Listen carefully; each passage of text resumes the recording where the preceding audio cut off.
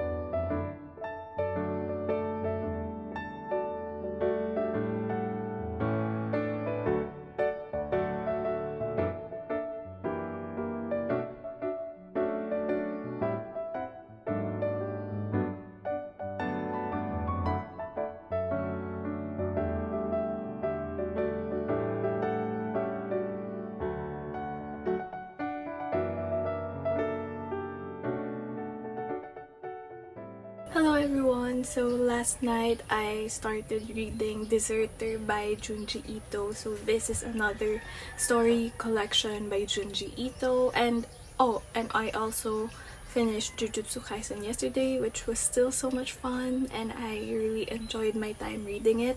So for Deserter I I got up to A Father's Love. I still haven't finished that chapter and this one is turning out to be a really really good um, Junji Ito story collection because the last one I read I believe was Love Sickness. Either Love Sickness or Smashed and those were okay. I still enjoyed them but I'm finding that this one is so much more amazing and fun. So far I've read Bio House, Face Thief, where the Sandman Lives, The Devil's Logic, The Long Hair in the Attic, Scripted Love, and The Reanimator's Sword. And I'm finding that there's a good variety of stories, so it's not just like haunted houses, it's not just like gory stuff.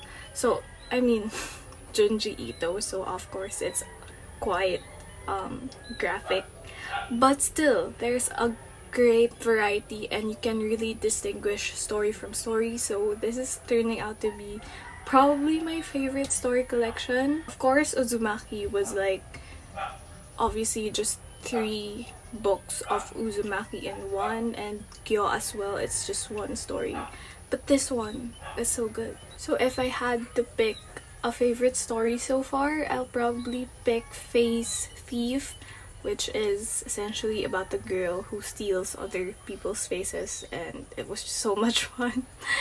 And yes so the plan for today is to finish reading this because I really am enjoying it. And once I read a Junji Ito anything like story collection or Uzumaki and Gyo I really really like finishing them really fast. So Yes, I also started this last night and it was dark and it made it so much creepier because I saw in Isabella um, Throne of Pages vlog that she said that it's so much better to read Junji Ito at night and she's she's right but I'm still going to read it today. Oh, and also last night Business Proposals sixth epi episode came out and oh my goodness. If you are still not watching the K-drama Business Proposal, go freaking watch it. It's so good. If you love like just this kilig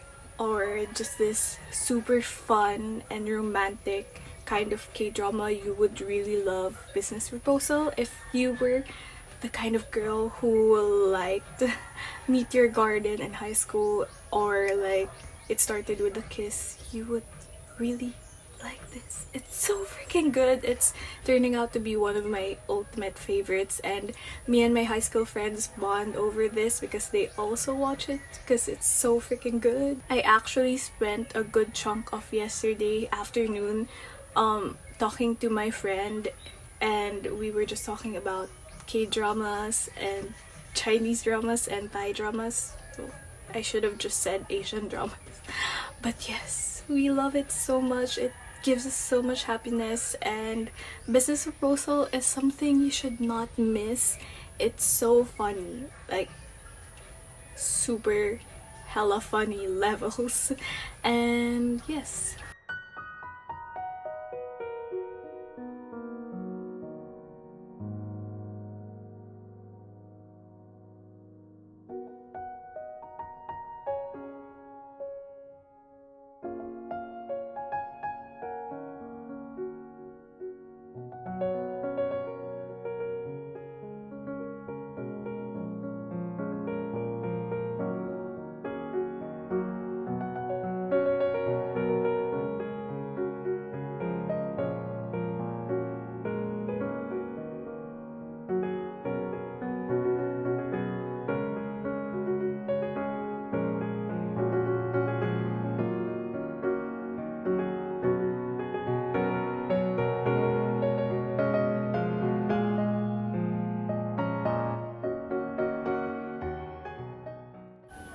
Hello everyone, so I'm thinking of ending the vlog here and before I do that, I'm going to tell you about um, Frank Frankenstein.